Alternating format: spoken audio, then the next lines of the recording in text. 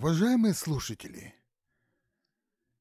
после прослушивания предлагаемой аудиокниги прошу вас оставить свой комментарий. Благодарю вас, Петр Филин.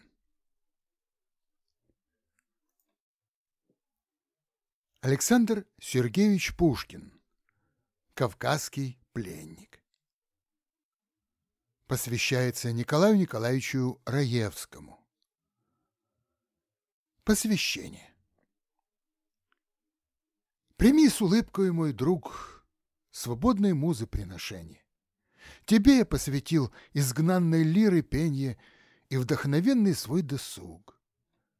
Когда я погибал безвинный, безотрадный, и шепот клеветы внимал со всех сторон, когда кинжал измены хладный, когда любви и тяжелый сон меня терзали и мертвили, я близ тебя еще спокойство находил. Я сердцем отдыхал, друг друга мы любили, и бури надо мной свирепостью томили. Я в мирной пристани богов благословил. В одни печальные разлуки мои задумчивые звуки напоминали мне Кавказ, где пасмурный Бешту, пустынник величавый, Ауловый, полей властитель пятиглавый, был новый для меня Парнас.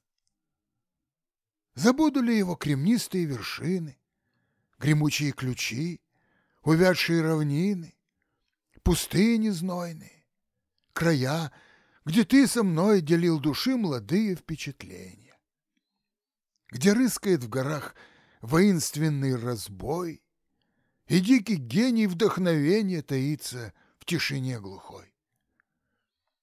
Ты здесь найдешь воспоминания, быть может, милых сердцу дней, противоречия страстей, мечты знакомые, знакомые страдания и тайный глаз — души моей. Мы в жизни розно шли. В объятиях покоя едва-едва рассвел и вслед отца героев поля кровавые. Под тучи вражьих стрел младенец избранный ты гордо полетел.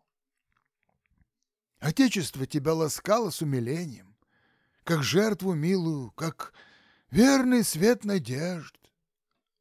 Я рано скорбь узнал, постигнут был гонением. Я жертва клеветы и мстительных невежд. Но ну, а сердце укрепив свободой и терпением, я ждал беспечно лучших дней. И счастье моих друзей мне было сладким утешением. Часть первая.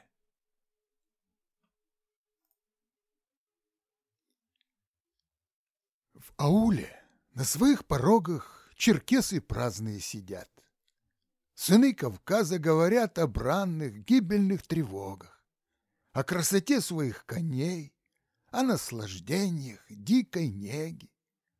Воспоминают прежних дней неотразимые набеги, обманы хитрых узденей, удары шашек их жестоких и меткость неизбежных стрел — и пепел разоренных сел, и ласки пленниц чернооких.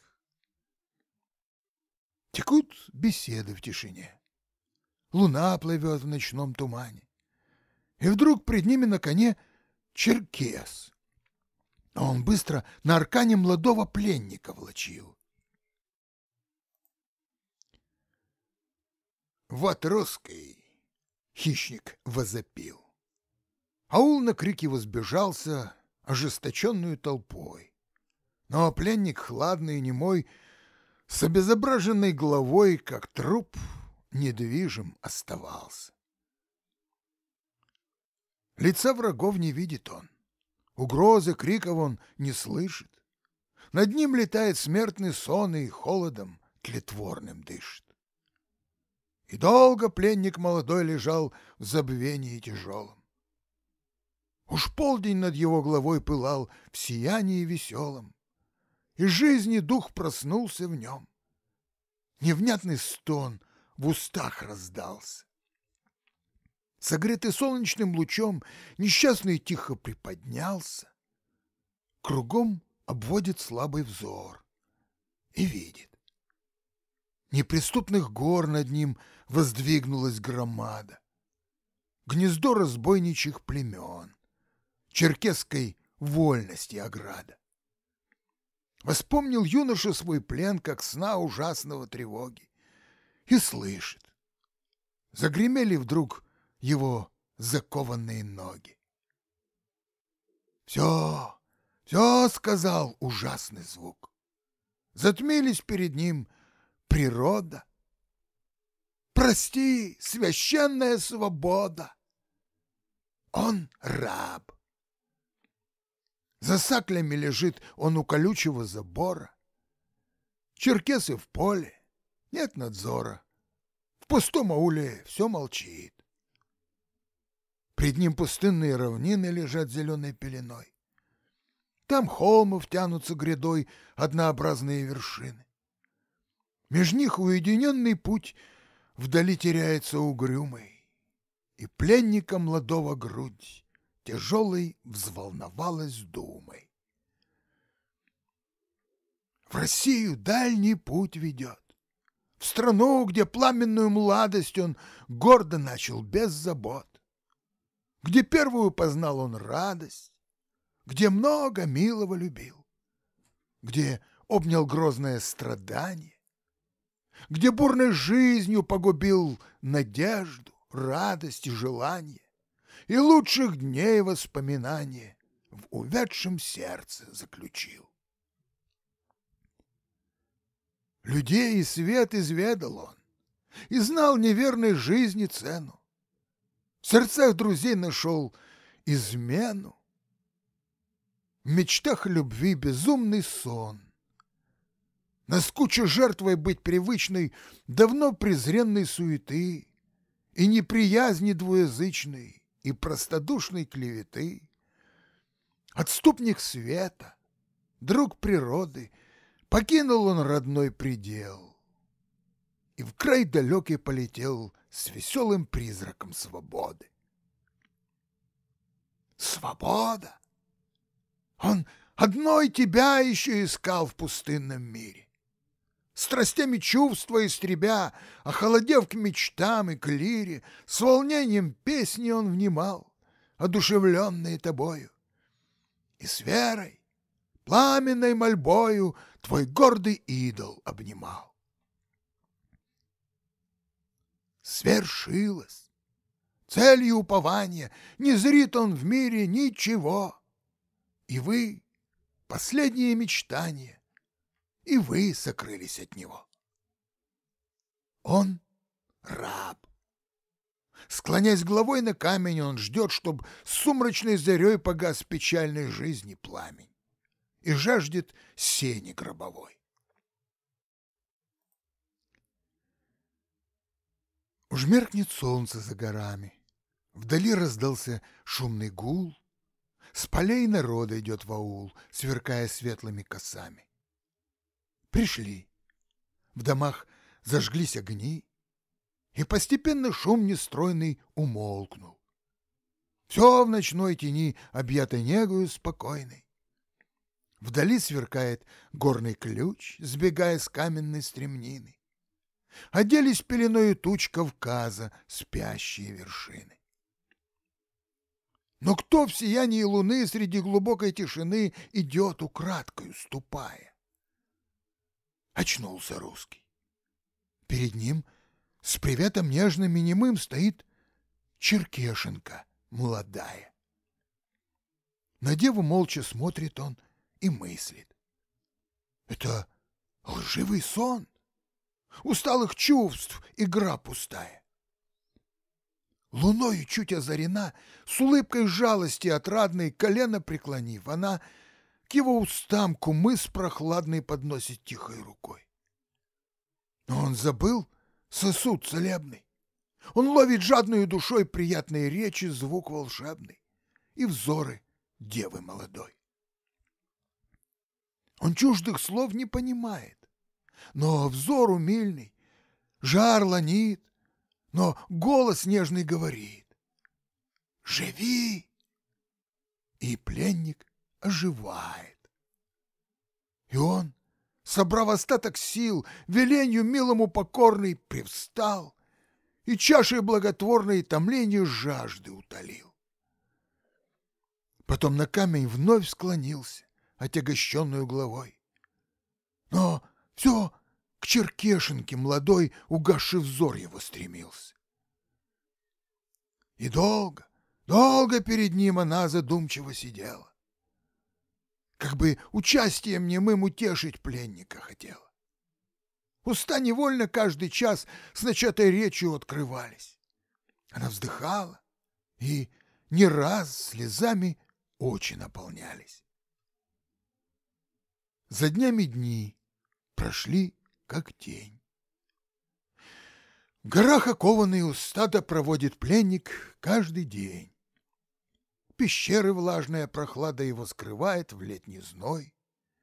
Когда же рог луны серебристой блеснет за мрачную горой, Черкешенко тропой тенистой приносит пленнику вино, кумыс и ульев сот душистый, и белоснежное пшено, с ним тайный ужин разделяет. На нем покоит нежный взор. С неясной речью сливает очей и знаков разговор. Поет ему и песни горы, и песни Грузии счастливой. И памяти нетерпеливой передает язык чужой. Впервые девственной душой она любила, знала счастье. Но русский жизни молодой давно утратил сладострастие. Не мог он сердцем отвечать любви младенческой, открытой. Быть может, сон любви забытой боялся он воспоминать. Не вдруг увянет наша младость, не вдруг в восторге бросят нас, и неожиданную радость еще обнимем мы не раз. Но вы, живые впечатления, первоначальная любовь, небесный пламень упоения, не прилетаете вы вновь. Казалось, пленник безнадежный к унылой жизни привыкал. Тоску неволи, жар мятежный в душе глубоко он скрывал.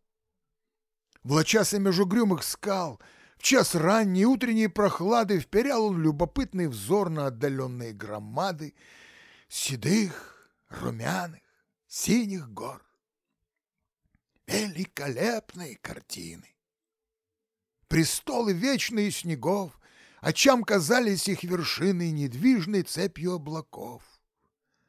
И в их кругу колосс двуглавый, в венце блистая ледяном, Эльбрус огромный, величавый, белел на небе голубом. Когда с глухим сливаясь гулом, предтеча бури, гром гремел, как часто пленник над аулом недвижим на горе сидел. У ног его дымились тучи, в степи взвивался прах летучий. Уже приюта между скал — елень испуганно искал. Орлы с утесов подымались и в небесах перекликались.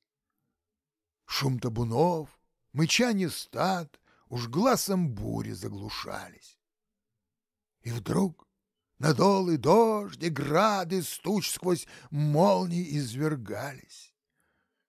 Волнами роя крутизны, сдвигая камни вековые, текли потоки дождевые а пленник с горней вышины один за тучей громовою возврата солнечного ждал, недосягаемый грозою.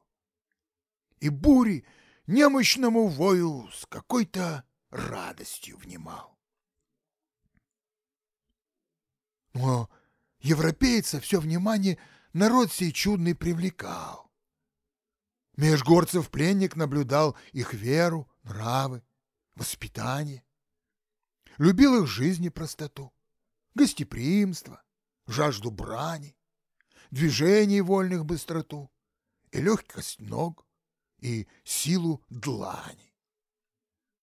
Смотрел по целым он часам, как иногда черкес проворный широкой степью, по горам в косматой шапке, в бурке черной, к луке склонясь, на стремена ногой устроенной опираясь, летал по воле скакуна, к войне заранее приучаясь. Он любовался красотой, одежды бранной и простой. Черкес оружием обвешан, он им гордится, им утешен. На нем броня, пищаль, колчан, кубанский лук, кинжал, аркан и шашка, вечная подруга его трудов, его досуга.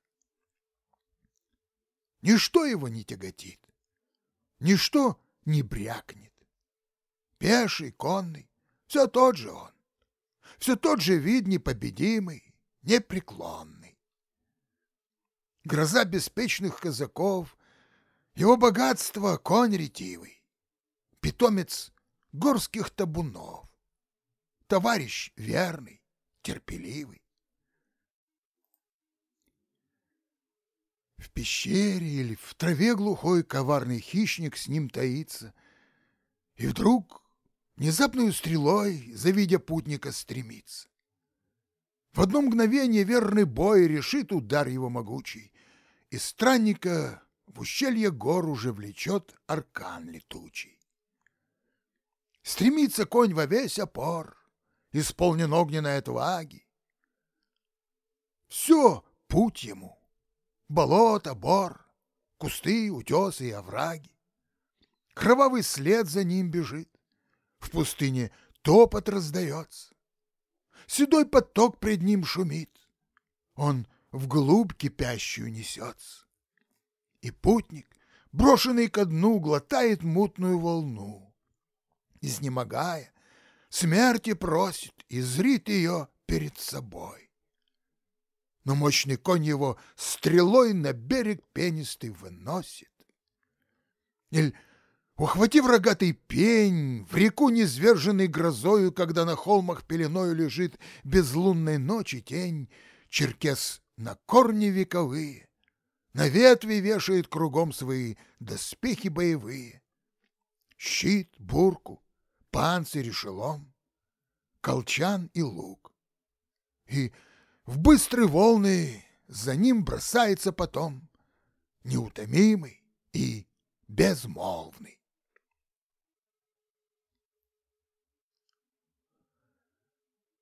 Глухая ночь, река ревет, могучий ток его несет вдоль берегов уединенных, где на курганах возвышенных Склонясь на копья, казаки глядят на темный бег реки.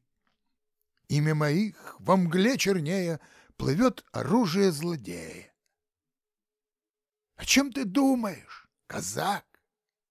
Воспоминаешь прежние битвы? На смертном поле свой бивак полков хвалебные молитвы и родину? Коварный сон. Простите, вольные станицы, и дом отцов, и Тихий Дон, война и красные девицы. К брегам причалил тайный враг. Стрела выходит из колчана, взвелась и падает казак с окровавленного кургана. Когда же с мирной семьей черкес в отеческом жилище сидит ненастную порой, и тлеют угли в пепелище. И, спрянув с верного коня, в горах пустынных запоздалый, К нему войдет пришлец усталый и робко сядет у огня. Тогда хозяин благосклонный с приветом, ласково, встает и гостю в чаше благовонной чехирь отрадный подает. Под влажной буркой, в сакле дымной, вкушает путник мирный сон, и утром оставляет он ночлега кров гостеприимный. Бывало, в светлый байран сберутся юноши толпою. Игра сменяется игрою, то полный, разобрав колчан, они крылатыми стрелами пронзают в облаках орлов, то с высоты крутых холмов нетерпеливыми рядами при данном знаке вдруг падут, как лани землю поражают. Равнину пылью покрывают и с дружным топотом бегут. Но скучен мир однообразный, сердцам, рожденным для войны, и часто игры воли праздной игрой жестокой смущены. Нередко шашки грозно блещут, в безумной резвости перов, и в прах летят главы рабов, и в радости младенцы плещут. Но русский равнодушно зрел сей кровавые забавы. Любил он прежде игры славы и жаждой гибели горел.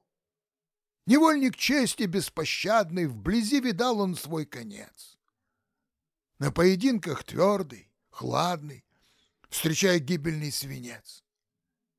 Быть может, в думу погруженный он время то воспоминал, когда друзьями окруженный он с ними шумно пировал. Жалел ли он о днях минувших, о днях надежду обманувших, или любопытный созерцал суровой простоты забавы и дикого народа нравы всем верном зеркале читал? Таил в молчании он глубоком движение сердца своего и на челе его высоком не изменялось ничего. Беспечной смелости его черкесы грозные дивились, щадили век его молодой и шепотом между собой своей добычей гордились.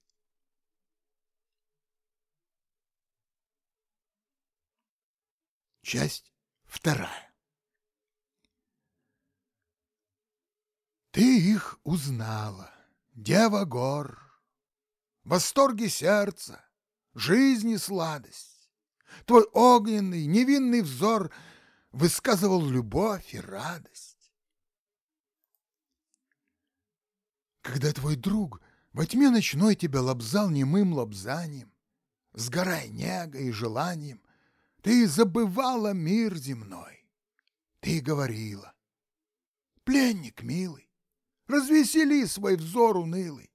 Склонись головой ко мне на грудь. Свободу, родину забудь.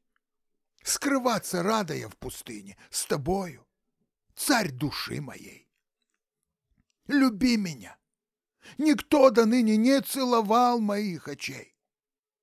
К моей постели одинокой черкес молодой и черноокой не крался в тишине ночной слыву я девою жестокой, неумолимой красотой. Я знаю, жребий мне готовый.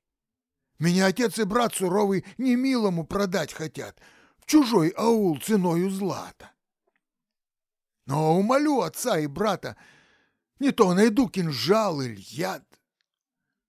Непостижимой, чудной силой к тебе я вся привлечена. Люблю тебя невольник милый, душа тобой упоена. Но он с безмолвным сожалением на деву страстную взирал и полный тяжким размышлением словам любви ее внимал. Он забывался. В нем теснились воспоминания прошлых дней. И даже Слезы из очей однажды градом покатились. Лежала в сердце, как свинец, тоска любви без упования. Пред юной девой, наконец, он излиял свои страдания. Забудь меня, твоей любви, твоих восторгов я не стою. Бесценных дней не трать со мною, другого юношу зови. Его любовь тебе заменит моей души печальный хлад. Он будет верен, он оценит твою красу, твой милый взгляд и жар младенческих лобзаний, и нежность пламенных речей. Без упоения, без желания я вяну жертвою страстей. Ты видишь след любви несчастной, душевной бури след ужасный. Оставь меня, но пожалей о скорбной участи моей. Несчастный друг, зачем не прежде явилась ты моим очам, в те дни, как верил я надежде и упоительным мечтам? Но поздно, умер я для счастья, надежды призрак улетел. Твой друг отвык от сладострастия, для нежных чувств окаменел. Как тяжко мертвыми устами живым лобзанием отвечать и очи, полные слезами, улыбкой хладную встречать. Измучусь ревностью напрасной, уснув бесчувственной душой в объятиях подруги страстной, как тяжко мыслить о другой.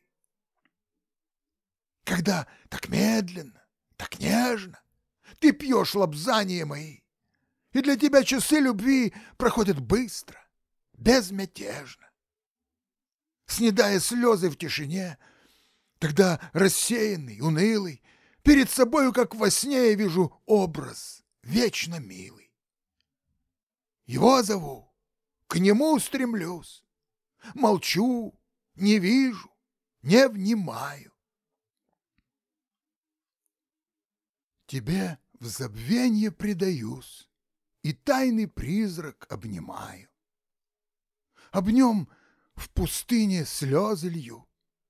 Повсюду он со мною бродит и мрачную тоску наводит на душу сирую мою.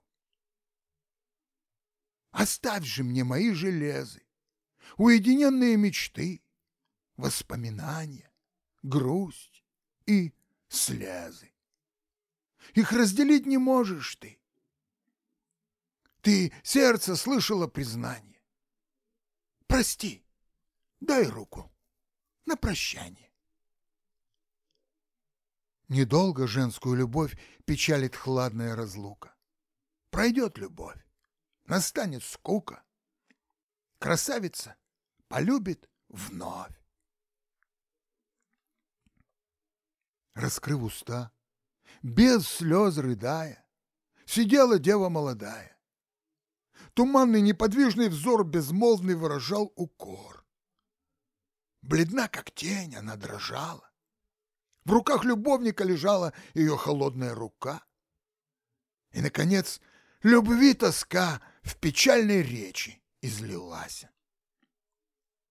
Эх, русский, русский, для чего, не зная сердца твоего, тебе навек я предалась? Недолго на груди твоей в забвении дева отдыхала. Немного радостных ночей судьба на долю ей послала. Придут ли вновь когда-нибудь? Ужель навек погибла радость? Ты мог бы, пленник, обмануть мою неопытную младость. Хотя бы из жалости одной, молчанием, ласкою притворной. Я услаждала б жребий твой заботой нежной и покорной. Я остерегла б минуты сна, покой тоскующего друга. Ты не хотел. Но кто же она, твоя прекрасная подруга? Ты любишь русский? Ты любим? Понятны мне твои страдания? Прости же ты мои рыдания. Не смейся горестям моим.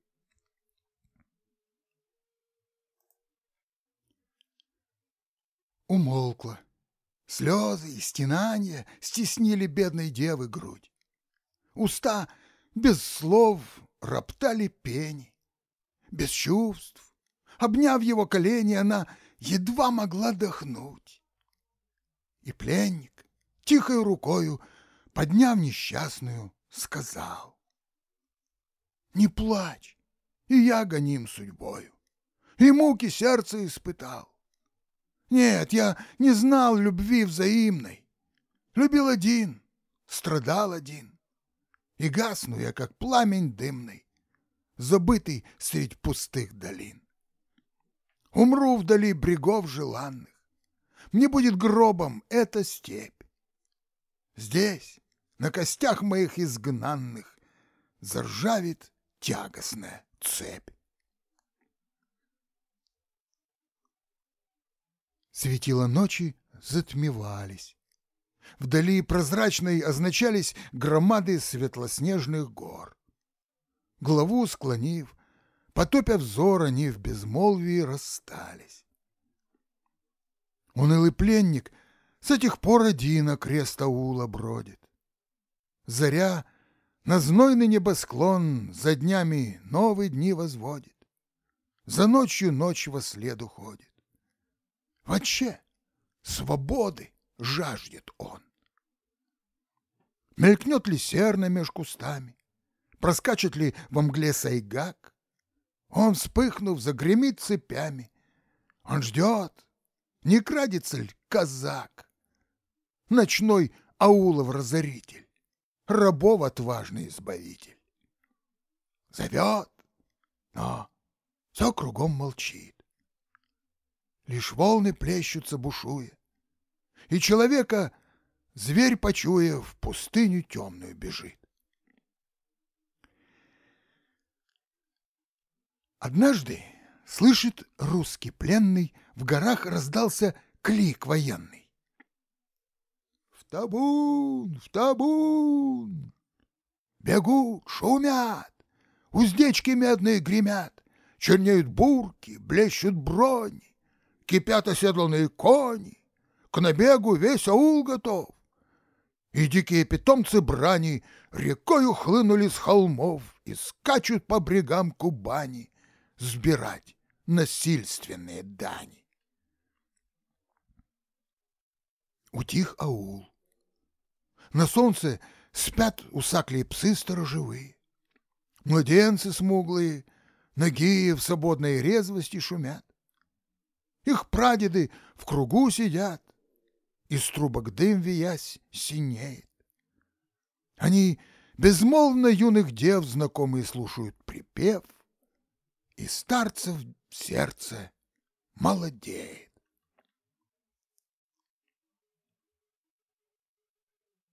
Черкесская песня В реке бежит гремучий вал, В горах безмолвие ночное. Казак усталый задремал, Склонясь на копье стальное. Не спи, казак, во тьме ночной Чеченец ходит за рекой. Казак плывет на челноке, влача по дну речному сети. Казак, утонешь ты в реке, как тонут маленькие дети, купаясь жаркою порой. Чеченец ходит за рекой. На берегу заветных вод цветут богатые станицы. Веселый пляшет хоровод. Бегите, русские певицы, спешите, красные, домой чеченец ходит за рекой.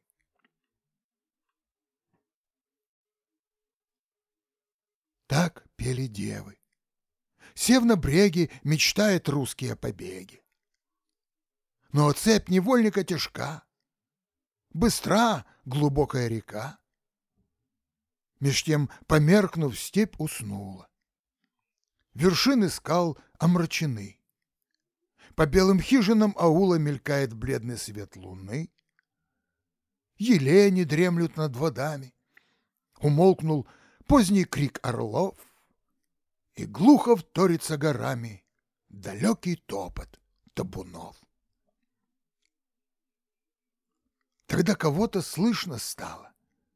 Мелькнула девы покрывала, и вот, печальная и бледна к нему, приближилась она. Уста прекрасной ищут речи.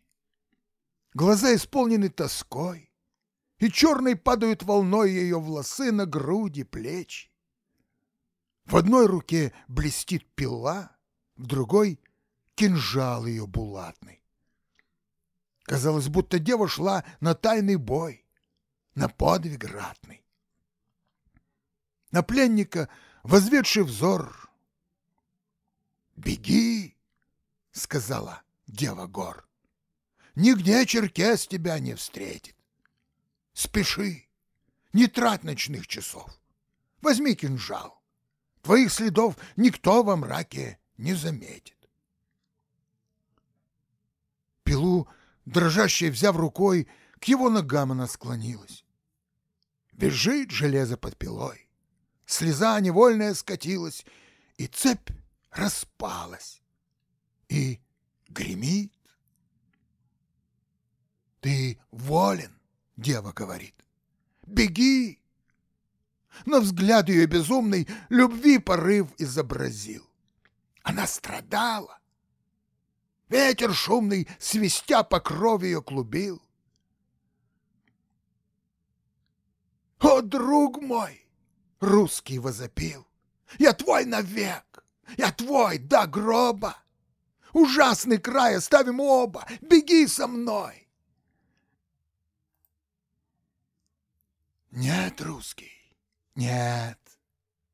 Она исчезла, жизнь и сладость. Я знала все. Я знала радость.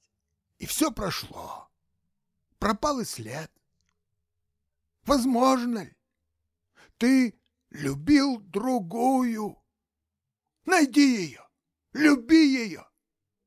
О чем же я еще тоскую? О чем уныние мое? Прости. Любви и благословения с тобой будут каждый час. Прости. Забудь мои мучения. Дай руку мне. Последний раз. В Черкешенке простер он руки, воскресшим сердцем к ней летел и долгий поцелуй разлуки союз любви запечатлел. Рука с рукой, уныние полный, сошли к обрегу в тишине. И русский в шумной глубине уже плывет и пенит волны. Уже противных скал достиг, уже хватается за них, и вдруг волны глухо зашумели, и слышен отдаленный стон. На дикий брег выходит он, глядит назад, брега яснели и опененные белели. Но нет черкешенки молодой, ни у брегов, ни под горой. Все мертво. На брегах уснувших лишь ветра слышен легкий звук, и при луне в водах плеснувших струистый исчезает круг. Все понял он. Прощальным взором объемлет он в последний раз пустой аул с его забором, поля, где пленный стадо пас, стремнины, где влачил оковы, ручей, где в полдень отдыхал, когда в горах черкес суровый свободы песню запевал. Редел на небе мрак глубокой, ложился день на темный дол, взошла заря. Тропой далекой освобожденный пленник шел. И перед ним уже в туманах сверкали русские штыки и окликались на курганах сторожевые казаки.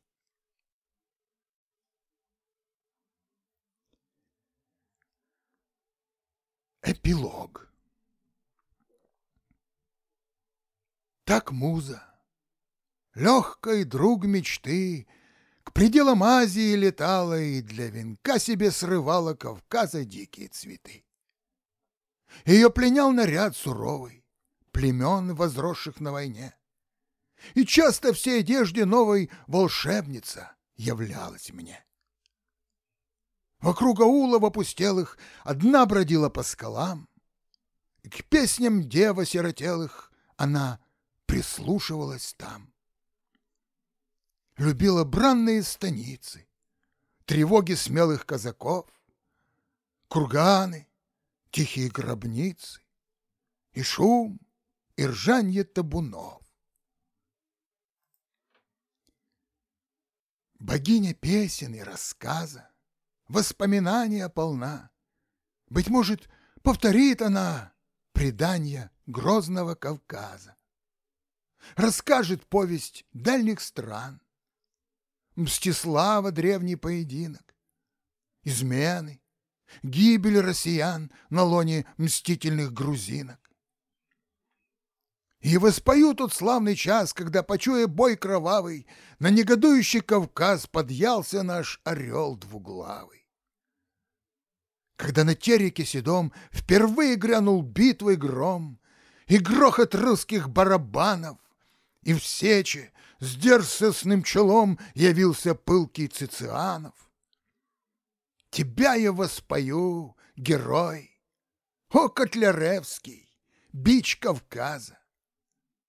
Куда не мчался ты грозой, твой ход, как черная зараза, губил, ничтожил племена. Ты днесь покинул саблю мести, тебя не радует война. Скучай миром, в язвах чести вкушаешь праздный ты покой и тишину домашних долов. Но се, восток подъемлет вой. Поникни снежную головой, смирись, Кавказ, идет Ермолов. И смолкнул ярый крик войны. Все русскому мечу подвластно. Кавказа гордые сыны сражались, гибли вы ужасно. Но не спасла вас наша кровь. Ни очарованные брони, ни горы, ни лихие кони, ни дикой вольности любовь. Подобно племени Батыя изменит прадедам Кавказ, забудет алчной брани глаз, оставит стрелы боевые к ущельям, где гнездились вы, подъедет путник без боязни и возвестят о вашей казни. Предания темные молвы. 1821-1822